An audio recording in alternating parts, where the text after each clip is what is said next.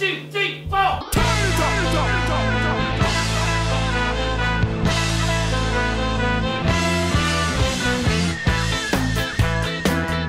Hello and welcome to the NESN Soccer podcast.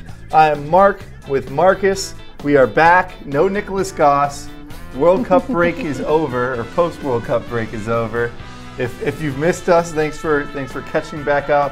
We look to turn to the club season, diving right into Premier League action because we're recording on Thursday. Premier League starts tomorrow, August 10th. Yes. And the Premier League transfer window ended today at noon Eastern Time, and it was thrilling. No, no, it wasn't. It No. was a little boring, but a lot of finalizing of moves. And I guess one thing that stuck out to me more than anything else, and maybe it's because of the, the lack of moves within the Premier League, was that I guess the Premier League is at, at least the lower level teams are at a bit of a disadvantage with their season beginning as early as it does and their transfer window closing as early as it does because they kind of have to scramble to sign players and the rest of the European teams can kind of sit back and wait and sign players at a later date. This You're saying the Premier League is at a lower le- level teams are at a disadvantage? I think so. What about the big Premier League teams? Well, maybe it's. Uh, I guess they both are. I would think the lower teams maybe more so because maybe they have to sort of uh, finagle and, and wait and see where the big, where the market sets itself and where the big players fall, and then maybe they can do a better job of how they want to sign their players. I In years past, yes. Yeah. This time, I don't think so because lower level Premier League teams have a lot of money to spend and they've Yeah. been throwing it around. I think I saw Watford was either trying to sign or buy a player for 30 million pounds. Mm-hmm. Uh, this is Watford. You could have bought the club Right. 10 years ago for 30 million pounds. Yeah. Uh, you know, there's so much money in England going on now that low level Premier League clubs can get expensive talent. Right. I don't know how good they are, but they can get expensive players in ways that they couldn't even three years ago. So maybe uh, anybody crying for, for the Premier League needs to stop crying for the Yeah, Premier League. yeah, yeah, yeah. It's- And at the same time, they, the teams aren't necessarily turning out to be better than in European competition. They're not not exactly doing terrible by any means, but there's not some sort of dominating trend by English teams in European play of as of recently No. and certainly not in, uh. in in conjunction with the price of the league going so high. But yeah, let's. I guess the biggest move of the day, unless you wanted to gripe more about how how big the transfer fees have gotten. Sure. Sure. They're, they're a joke now. Transfer fees don't reflect how good a player is. They don't reflect, I don't want to say completely, but, you know, this isn't necessarily a blanket statement, but yeah, it doesn't reflect how good a uh, player is, doesn't reflect his standing in the game relative to his peers, and it only shows how desperate the buying club is. Because I think the inflation in the fees have escalated to a point where it's out of whack with where players actually stand. We can go back to that Watford example. They have so much money that they can go and get a 30 million pound player where 10 years ago if they couldn't get a 3 million pound player. Another good example, and I always find a way to fit Roma into our shows, but mm-hmm. Liverpool signed away Roma's goalkeeper Alisson for a $62 million transfer fee, I believe was the number. And I I believe was 62 million pounds. pounds, pounds, Yeah. which I think at the time was the highest bid for a goalie Yes. in European soccer. And I remember seeing that, and I remember Alisson is a is a great goalie, but it just really seemed like a is he great? Uh, He's yeah. pretty good. He's pretty good. Was he the best in Serie A last year? Probably not. Is he the best? Is he going to be the best in the Premier League? Probably not. And it's just yeah, the the absurd amount of money being thrown around to acquire players, and I, it seems like there needs to be some sort of moneyball approach that's going to balance this out, because the teams aren't necess- the teams that are spending the most aren't necessarily becoming the best, and I think another approach will come just out of that fact that teams are are going to realize we shouldn't just be throwing all of our money around because it's not necessarily making us any better. Well, what do you do with money other than spend it? Uh, spend it on coaching. Yeah. Uh, Yes. yeah. There's a lot of money floating around, and I don't think a lot of teams and directors of teams know the best way to use it. Mm-hmm. I mean, I think there will be a correction over the coming three to five years or so. But yeah, right now it seems like uh, teams are stockpiling players and buying up the best talent from elsewhere, and there's nothing you can really do to stop it. Mm-hmm. Well, let's move on to the actual moves that took place. Mm-hmm. Courtois moving from Chelsea to Real Madrid, goalie, was the biggest move actually near the deadline. Right. Uh, you could say, I mean, the biggest move of the whole summer was obviously Ronaldo moving. Yes. But, uh, so this falls obviously below that, but it's a very big deal going to Real Madrid where he'll challenge for a starting spot. And at the same time, Real Madrid will have a lot of games with all their different competitions. So I think both Courtois and Keylor Navas will see a good amount of playing time. It's just who's going to start the biggest games, right? Yeah, and right now we don't know. Uh, Keylor Navas had a great quote. He said, "I have as much desire to leave Real Madrid as I have to die." uh, so he's not. Uh, Keylor Navas isn't going to give up the job without a fight. And Sure. by the way, he's won the last three Champions Leagues, so Yeah. you know, I kind of was going to ask the question, who's better, Navas or Courtois? I would think uh, Navas right now. So And- why did Real Madrid make this move?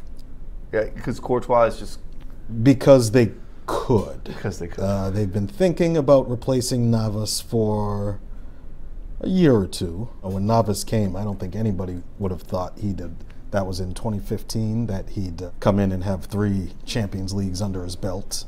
Uh, he replaced, I think he replaced Iker Casillas directly, who was Real Madrid's icon and captain and longtime goalie, but ultimately was pushed out. And he's winding down his career in exile in Portugal.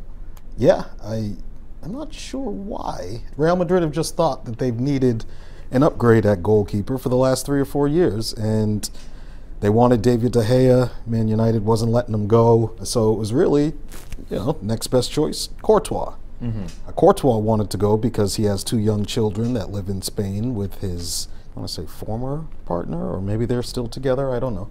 Uh, but he wanted to be closer to his kids, and this is strange how this went down with Chelsea because Chelsea knew, uh, or at least I knew from last spring, that Courtois wanted to go. He wasn't going to sign his contract.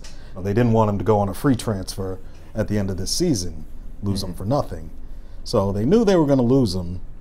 He came back, was supposed to report for training Monday, went on strike for two days, then Chelsea sold him. Why didn't Chelsea do this earlier, and why didn't they replace him earlier? I think those are two of the biggest questions, and I think that's going to cost Chelsea. and this, I, I'm not even going to try. Give it a shot.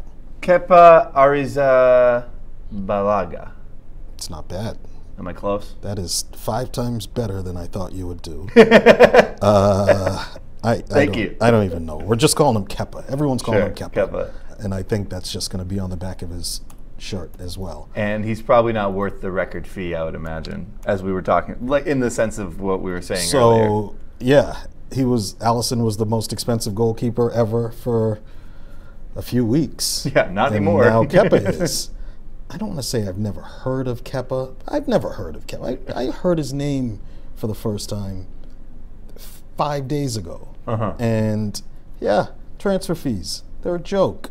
Because Yeah. my litmus test is, uh, you know, I know there are always new players coming up and blah, blah, blah. But if me, Marcus Kwesi O'Mard, does, have not heard of you, then how are you worth a record fee?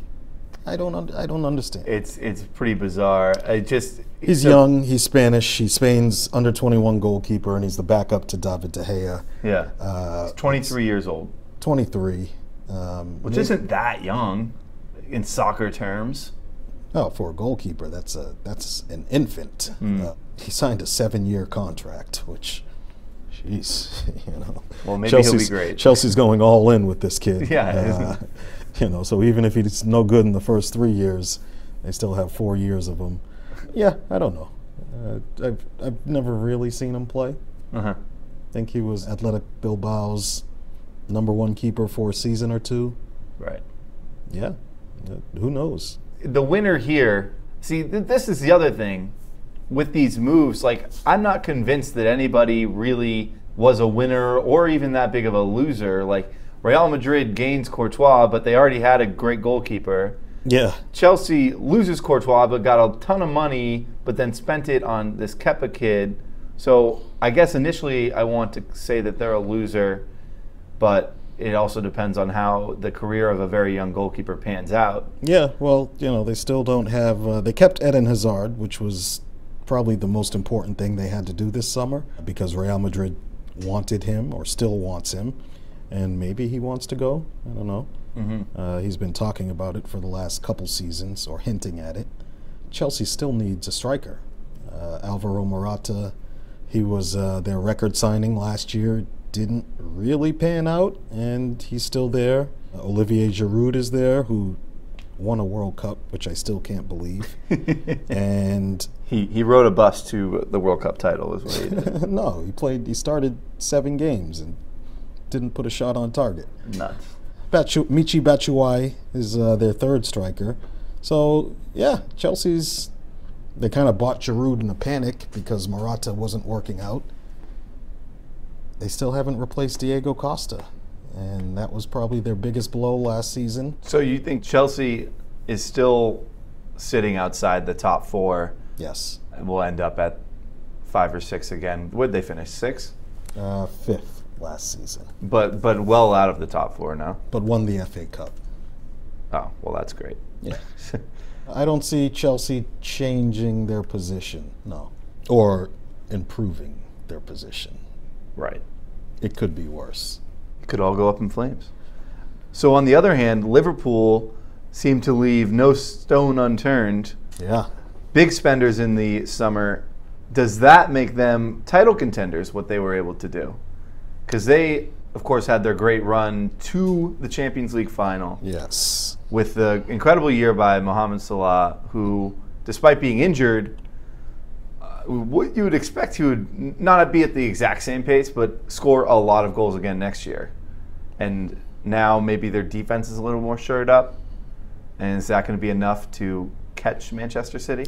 That is the idea. Yeah. They also lost Emery Chan, who went to Juventus uh, on a free transfer.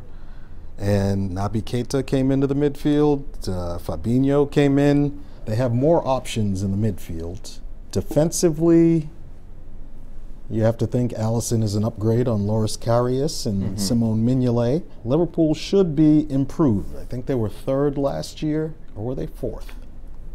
Liverpool was fourth, two points shy of Tottenham. Liverpool is still 25 points behind Man City. Well, so that's something that we, of course, there's no way to like look at a hundred point season and not marvel at it. Yeah. But there were a a couple times where I feel like we talked to each other and thought that the gap wasn't quite as big as the the table made it out to be. That maybe Manchester City maybe should have lost a couple games, and maybe the teams like Manchester United and Liverpool should have won a few more to kind of close that gap and make it a mm-hmm. little more respectable. Yeah. But that's all hearsay. What actually happens on the field is what matters. In the transfer market, Liverpool are probably the only ones of the top, maybe Arsenal, I don't know. are the only ones at the top who have used the transfer market to boost what I expect their uh, finishing position will be. Right. Chelsea, Man United, Tottenham. Tottenham. Let's. Tottenham did not make any move whatsoever, Yeah. and I thought that that was crazy. And then you pulled the stat out on me. If you want to share it, No, go ahead. You. well, okay. So no Premier League team since 2000 is, since 2003 has not bought or sold any player in the summer. I think it was just bought. Just bought. player. Okay, well, Uh, still. either way, yeah. Tottenham. I mean, they they kept their team together, and the manager came out. Pochettino came out and was just gushing about uh, sometimes you have to behave differently in the sport than everyone else, and you know he's, he's got great players here, and they finished second and third, and fourth, and all in recent years. Tottenham still was not good enough to Yeah. even challenge for the title. And last season, I think, was a little bit worse than the previous season. You know, I Yeah, think they sort think of lost ground on the on, on the teams they were chasing. So And going, well, going into last season, Tottenham was. It was this. I felt like the feeling with Tottenham was, all right, now we're here. Now we're ready to really challenge for the Premier League crown. going into last Going into last season, and it became clear that they were very good once again, and yeah, not going to really be a challenger, and that would seemingly spark something more like Liverpool, what Liverpool did to really get enough pieces to get to the next level, as opposed to just stand pat. Yeah, Tottenham has a lot of faith in their players and in their squad, and I'm wondering if it's misguided. Uh, there's also this big effort to try and uh, get young players in, and you know, get some of their academy player, academy graduates some first team minutes. But yeah, this this Tottenham team, they weren't world beaters last year. Uh, they haven't been really world beaters since the uh, Battle of Stamford Bridge, which was I don't know if it was the season before that. Okay, that was 2016. So yeah, 2016, May 2016 was the last time Tottenham really looked like challengers for the Premier League. And they stood pat, and anybody at Tottenham will tell you it's not because of their stadium and that, you know, they haven't invested in the squad. Right. They're building a new stadium. Its completion appears to be behind schedule, and they probably won't move into it until September or October. And then there's always some hiccups with new stadiums and teams not being Right. comfortable and familiar. I see Tottenham slipping out of the top four, which is what I'm saying. That'd be fun. See, I would like to see that kind of go up in flames, and it's kind of a because as much as we were talking about how we are annoyed with how big the transfers are these days, I also am annoyed with a team thinking that they have what the, what they need when they didn't have what they need the year before. Yeah. It's a weird Yeah. arrogance or cockiness that really just has no place. It's like you're still Tottenham. You're still I think they're lying to their fans. yeah. uh, in a coordinated public relations effort between the board and the manager. Um, yeah, I don't, I I haven't spoken to many Tottenham fans recently, but eh, they can't be happy about this, and they have to play in the Champions League as well. Yeah. Not an easy schedule. Yeah, Speaking of fans and organizations and the relationship between the two, I have learned in the last 30 minutes that you were boycotting, ta- talking about Arsenal, and have since lifted that boycott. I not yet. We'll get to it later in the show. oh okay, all right. I you know it, I have Arsenal reloaded here in our rundown. I thought maybe that was going to be you uh, opening up your boycott. Yeah, I mean they've been busy in the transfer market. I don't see the real impact is going to be under the new manager, Unai Emery. Yeah, Uh, how much does he shock the systems of these players who have stagnated for the last three or four years? Um, we don't know, but I'm not going to talk about my Arsenal boycott yet. Arsenal's transfer business was uh, busy. I don't know if it's transformational. sure. New managers, West Ham and Everton under new managers as well. Yeah, busy uh, in the transfer window. These West Ham, Everton, Wolves. Uh, Wolves don't have new managers, but Everton I want to talk about because they just, just right at the end of deadline day, made three signings: Yerry Mina from Barcelona, Andre Gomes on loan from Barcelona, and the third one is a Brazilian named Bernard, who uh, I think he was playing at Shakhtar in Ukraine. I didn't see that coming. I mean, I thought deadline day was going to be an absolute snooze, but their manager, Marco Silva, who was the one they were chasing and destabilized Watford last season over, he's gotten a lot of backing from the club, so there shouldn't be too many excuses for Everton. Where did they finish last season? Everton finished eighth, five points out of European play. Well, Behind Burnley. There's no reason Everton shouldn't finish seventh or higher. Uh huh. I mean, the whole club has been angling to uh, put this kind of structure in place with this manager for uh, well over 12 months. So this is their this is their chance. West Ham has Manuel Pellegrini in. It's kind of interesting. West Ham is the quintessential English club. Well, they've been around for 100 plus years and have this rich heritage of producing English players that go on and become very good. They hired Manuel Pellegrini and their sporting director, whose name I don't recall. They've gotten a lot of players this summer, and West Ham is going Latino, which I thought was interesting because it's in, well, it was normally based in East London. Well, it is in East London. Uh, they're a little far from their spiritual home of Upton Park. They're now at the Olympic Stadium. Yeah. And yeah, that move really sent shockwaves through the club. And I think the new manager and the new director of football and the new signings sort of show that uh, this isn't this is no longer your father's West Ham. Right. Well, evolving with the rest of the times, I guess, and the rest of the league. Yeah. Before we move on from transfer talk, I think maybe the biggest steal or sweep in and, and surprise move was outside of the Premier League altogether between the French League, Serie A, and La Liga as, what's his name, Malcom, Brazilian playing for French club Bordeaux, Malcom.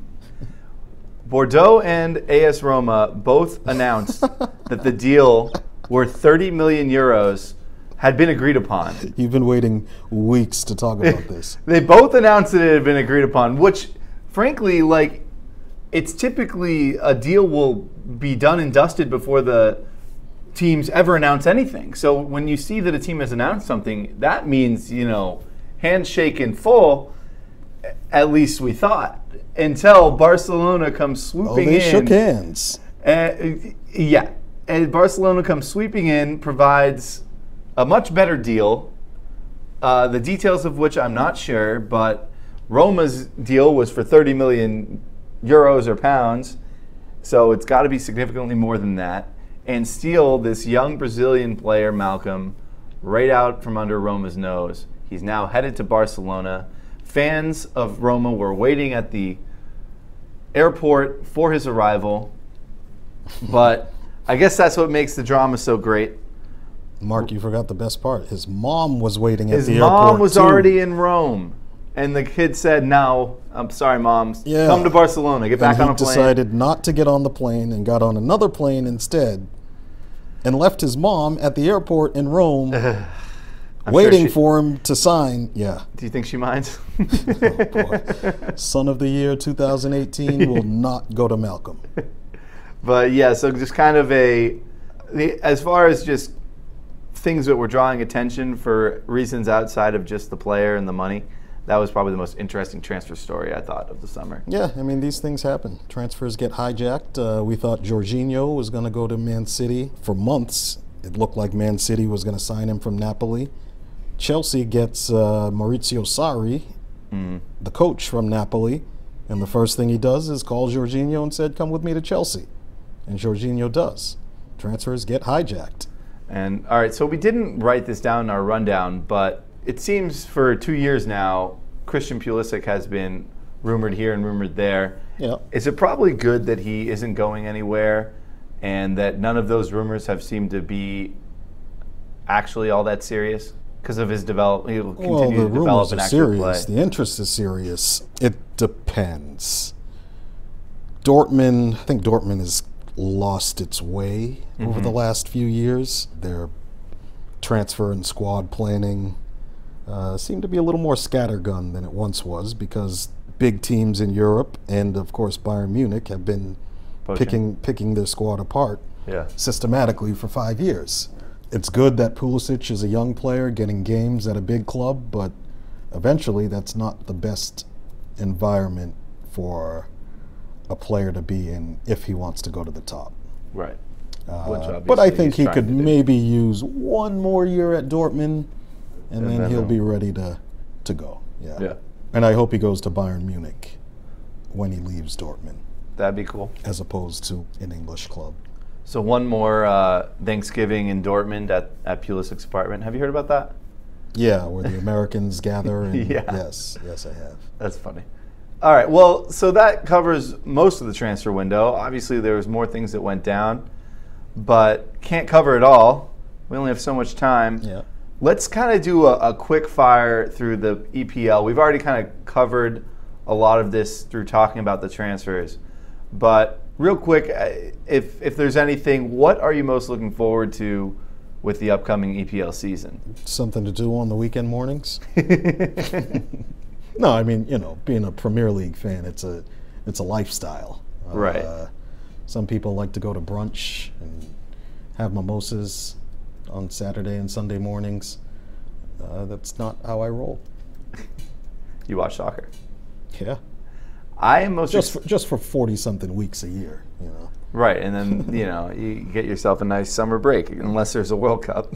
Unless there's a World Cup, yeah. But even the three weeks between the World Cup and the start of the Premier League just seem to drag on and on and on. Uh, yeah, I've been feeling a little lost without it. So I might not be as devoted a Premier League fan as you, but I like to follow maybe like one team every year and pick it for a pretty arbitrary reason. a different team. Yeah. It's interesting. And so this year I will be following Wolves as closely as I can because they're a mm-hmm. promoted team. Mm-hmm. Seems to be a lot of excitement around the team mm-hmm. and probably or maybe has the best of the promoted teams and could do even better than you would expect any any old promoted team to do and dare I say challenge for European play. Oh, Marc, you were prepared on that one. Well, Um, yeah. I was ready to shoot you down, but no, Wolves, uh, among the promoted teams, Fulham, Wolves, Cardiff City. I think Wolves ran away with the uh, championship, championship, you know, championship, second division uh, title last season. Of these teams, they have the most resources. They have the most coherent uh, planning, and they also have, you know, some. Dare I say, a couple stars in that team. Uh, Ruben Neves is one I'm thinking of. He's a young Portuguese center midfielder. Basically, Wolves is owned by a uh, Chinese consortium, and with serious links to Jorge Mendes, who is uh, arguably the super agent among all super agents. Wolves have been trying to downplay his role for much of the year. Uh, the rest of the uh, championship, second division, uh, a number of teams last season sued Wolves for unfair practices uh, due to this managerial structure they have where Mendes is, uh, long story short, they're signing players and paying them salaries that are too low for their ability. Okay. Uh, that's the accusation.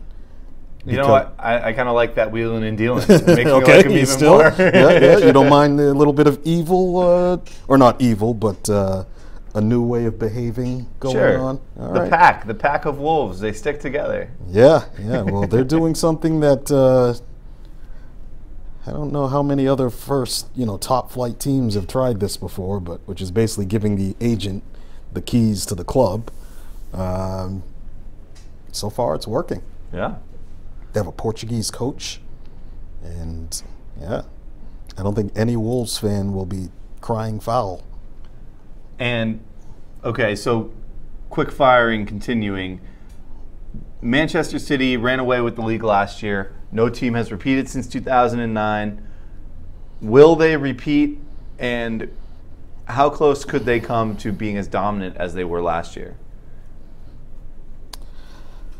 I think they will repeat um, because they've been uh, harmonious and no major disruptions or departures. Uh, I think Riyad Mahrez coming will give them another dimension and a little more quality in their attack. Not that they needed it.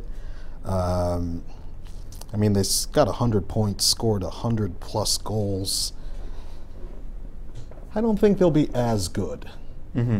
Uh, yeah, I don't think they'll be as good, but I do think they will still be too good not to win the Premier League.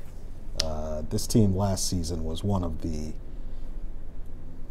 three or four best Premier League teams ever, Yeah. and yeah, I don't see them not winning again.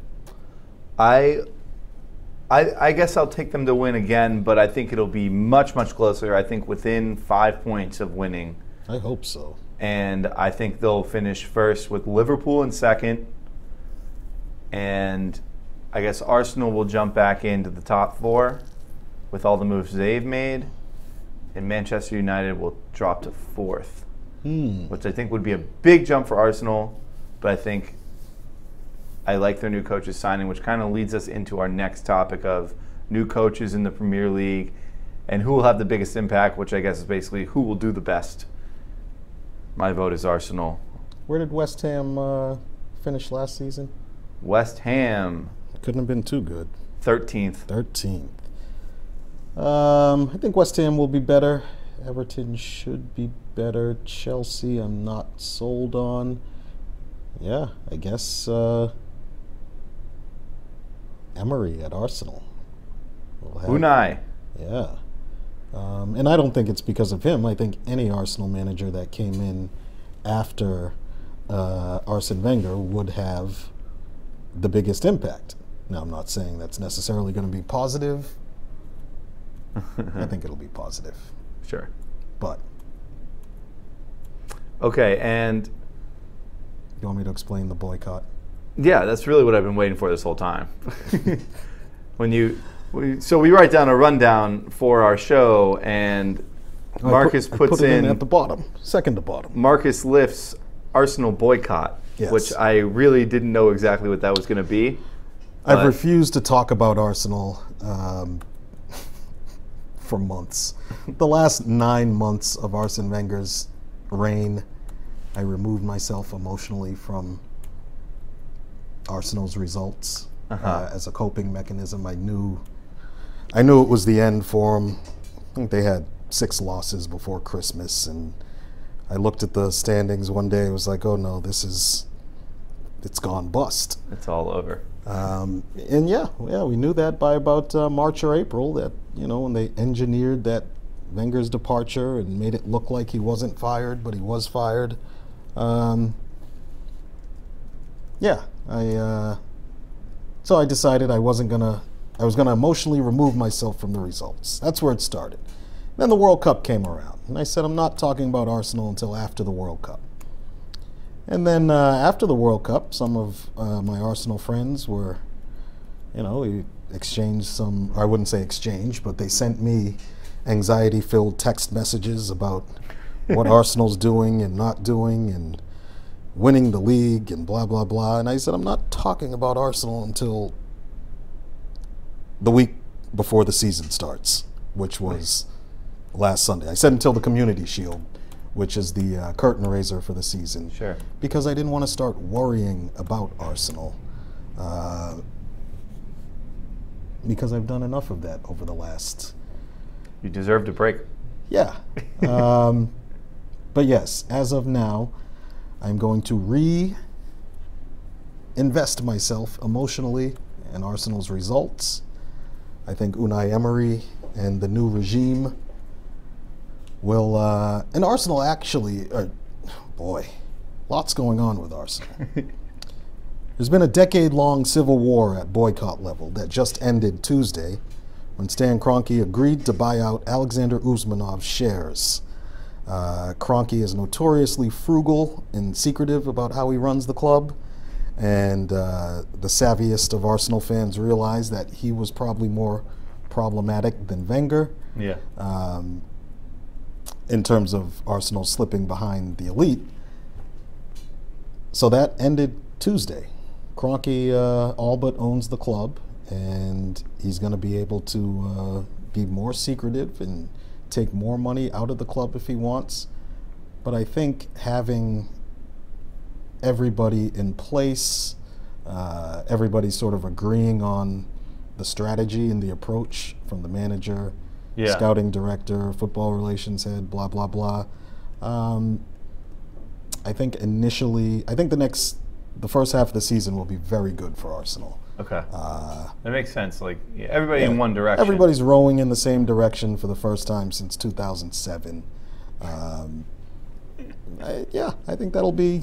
Uh, I think that'll be good until something happens and you know, more factions emerge. But yeah, between now and uh, January 1, I think it's a good time to be an Arsenal fan. I just hope the uh, just hope the football's as good. Okay. You know, it it, Well, it, sure- it hit it hit some heights under Wenger, and I always uh, like to until the last season or two. Always got a good show. I just hope that remains the case. I'm sure they're happy to have you back on board, Marcus. Uh, No, I never left.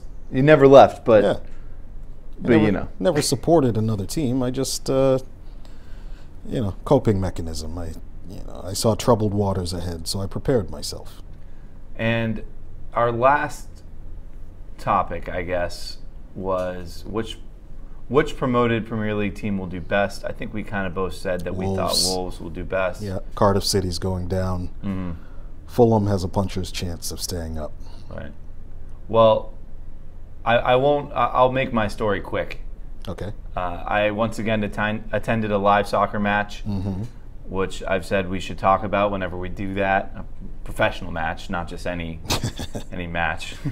uh, so I, I I gave in to uh, the the FIFA gods and, and the money making machine that is FIFA and, and UEFA and attended an International Champions Cup match Mm-hmm. between Roma and who? Roma and Real Madrid Whoa! in New York City. And to my delight, because you never know who's going to play in these, both teams put out very solid lineups. Real Madrid included Keylor Navas, Nacho, Sergio Ramos, Toni Kroos, Isco, Benzema, Marco Asensio, who scored, and Gareth Bale, who scored. Nice. Roma countered with a very solid lineup, including De Rossi playing the full 90, which shocked me.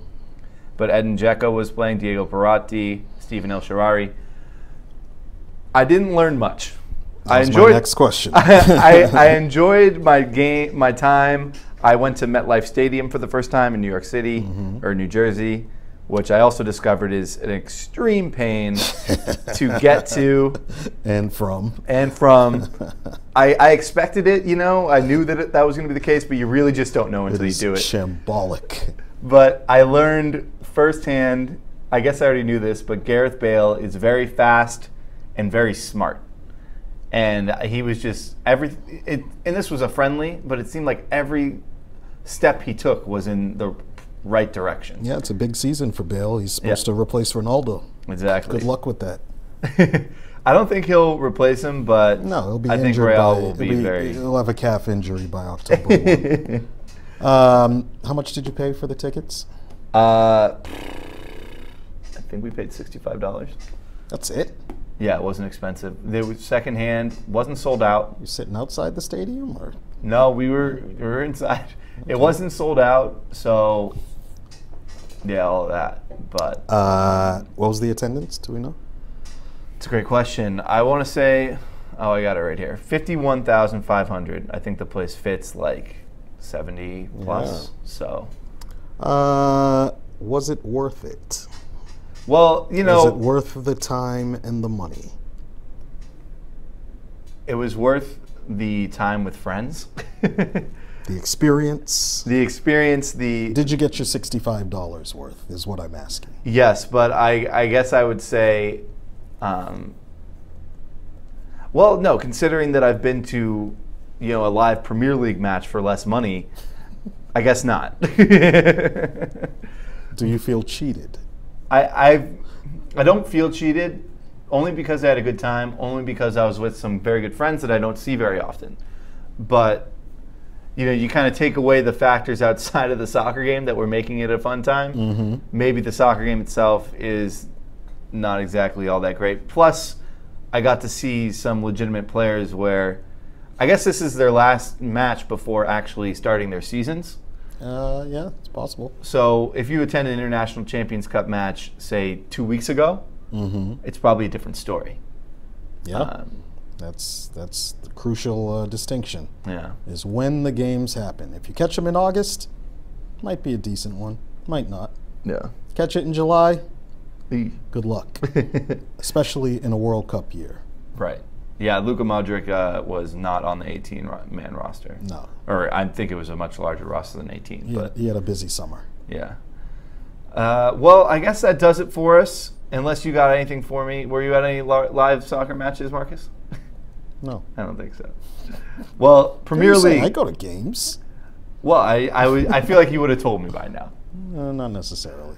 the Premier League begins tomorrow as well as League Un. Then I think the rest of the European leagues, if not next weekend, are the weekend after. So enjoy the rebirth of soccer for the 2018 19 campaign. And be sure to check back with us if you want to follow along with our programming. You can find our podcast on iTunes by searching NESN, that's N E S N, on iTunes, where you get access to all NESN podcasts, including every episode of the NESN Soccer Podcast. Marcus, thank you. Uh, it's good to be back. It's good to be back. I'm excited for another another year. See you next week.